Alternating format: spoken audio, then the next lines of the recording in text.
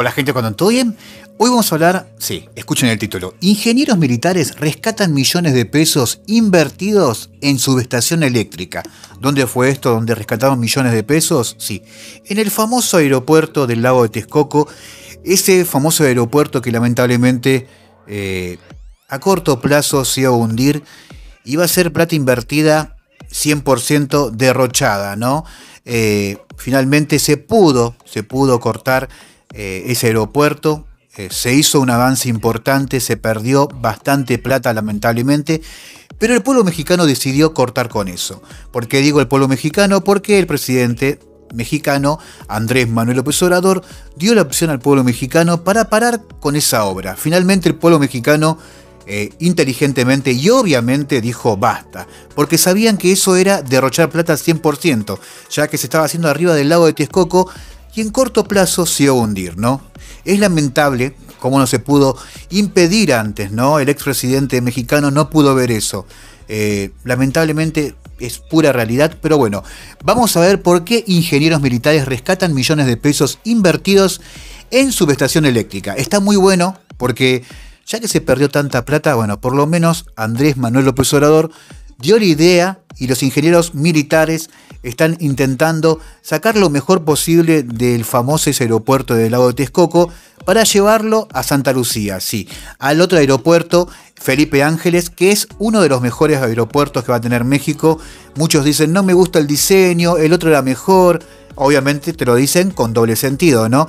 Creo que el otro iba a ser mejor eh, para barcos, con mucho respeto. Eh, hacerlo arriba de un lago, un aeropuerto, creo que es una locura total. Y lo digo con mucho respeto y con mucha bronca, porque esa plata es de ustedes, no es de nadie más, es del pueblo mexicano. Pero bueno, algunos eh, no lo entendieron. Eh, como siempre les digo, se respeta toda idea, ¿no?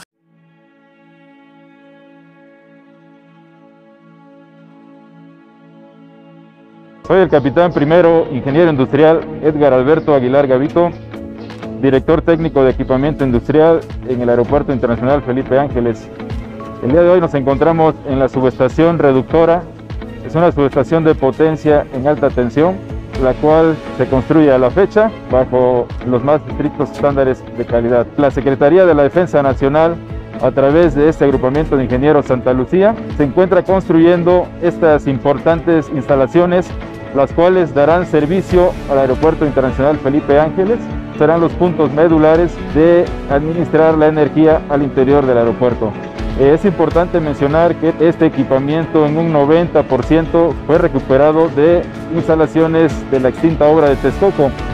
Este equipamiento se trasladó de la extinta obra al predio de Santa Lucía para ser utilizado y bajo una reingeniería realizada se implementó su aplicación para su construcción en esta nueva obra. Como podemos apreciar, es equipamiento diverso, hay equipo de control, hay equipo de protección, hay equipo de seccionamiento y bueno, es equipo de muy reciente tecnología. Y la principal ventaja con este tipo de instalaciones es que podemos ahorrar mucho espacio en un predio determinado. Aquí estamos en este momento en el cuarto de la subestación GIS, sin embargo, tenemos cuartos periféricos donde se tiene alojado el equipo de control, el control supervisorio, toda la parte de protección, control y medición, así como las instalaciones donde se tienen alojados los tableros generales de distribución. Tenemos tres bancos de transformación, tres transformadores con tres pasos de transformación, 36, 48, 60 megavolts amperes Aquí se va a llevar a cabo la transformación del voltaje que viene del sistema eléctrico nacional en 230 mil volts. Se va a reducir a 23 mil volts para la distribución interna en el aeropuerto. Estamos considerando alrededor de 30 circuitos al interior del aeropuerto configurados en diferentes anillos para alimentar las diversas cargas de la propia instalación, tanto instalaciones militares como instalaciones aeroportuarias. El personal que operará esta subestación tendrá un efectivo aproximado de 8 gentes para llevar a cabo las tareas de monitoreo. Se estará monitoreando en tiempo real todo lo que pase eléctricamente al interior del aeropuerto. Este personal será capacitado por especialistas para poder llevar a cabo esta tarea. La subestación en sí tiene un tiempo estimado de construcción de 11 meses a partir de la fecha en que se nos entregaron los estudios por parte del Centro Nacional de Control de Energía a la fecha llevamos alrededor de cuatro meses y medio trabajando en la construcción de estas instalaciones. Al día de hoy tenemos un avance en la construcción de las subestaciones de alta tensión de un 45%.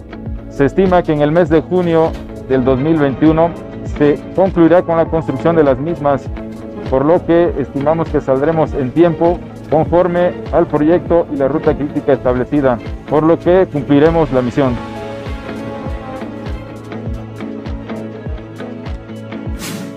Gobierno de México.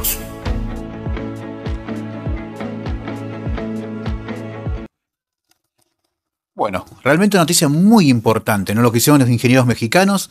Eh, acá encontré la noticia, estuve buscando un poquito.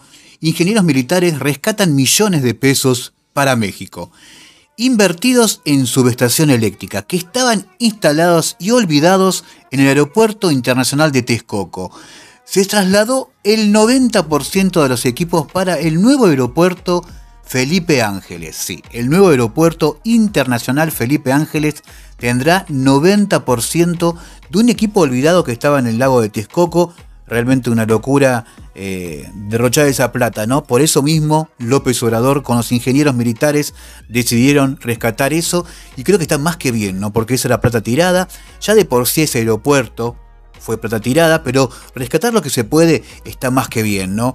Y están haciendo un gran trabajo y no es de ahora, es hace rato que los ingenieros militares están trabajando día y noche para rescatar lo que se pueda de ese aeropuerto para trasladarlo a Felipe Ángeles. Atrás mío dejaré imágenes para que se vea el trabajo que están haciendo. Es hace bastante tiempo que están haciendo eso. No es que dejaron el aeropuerto como estaba. Todo lo que se pueda usar y llevar, invertir en el Felipe Ángeles lo están haciendo.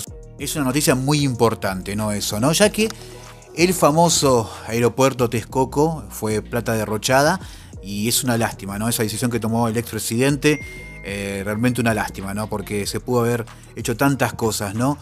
E igualmente, el presidente López Obrador tuvo una idea con su grupo de gente de hacer, sí, va a ser un parque ecológico el más grande del mundo en el lago Texcoco, van a ser un parque ecológico. Si consigo imágenes dejo atrás mío, si no, no dejo nada, pero seguramente buscaré y encontraré imágenes del famoso, sí, parque ecológico de Texcoco, que va a ser el más grande del mundo. Noticias buenas, ya que se hicieron unas cosas relativamente o por no decir muy mal anteriormente, bueno, son noticias muy buenas en la actualidad y creo que está muy bueno esto, ¿no? Cuidar la plata del pueblo mexicano, como siempre les digo, es lo mejor que hay. Y nadie mejor que el presidente de México que representa a todo el pueblo mexicano, ¿no? López Obrador siempre cuidando el bolsillo del mexicano, siempre respetando al mexicano. Son ideas muy buenas, como siempre les digo, Felipe Ángeles, el aeropuerto, la refinería Dos Bocas, Tren Maya, hay un montón de proyectos que realmente vale la pena y mucho escuchar y aprender de López Obrador. En momentos tan complicados que está viviendo el mundo, eh, México está demostrando que se puede, con esfuerzo y mucha responsabilidad se puede salir adelante. Eso, quédate tranquilo que es así. Abrazo gente, te lo quiero mucho.